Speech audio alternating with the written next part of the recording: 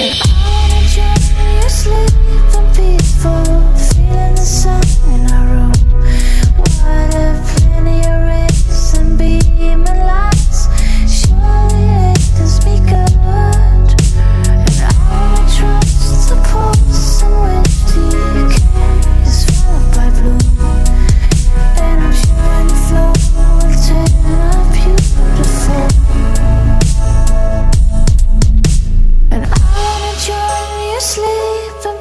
feeling the sun in our room.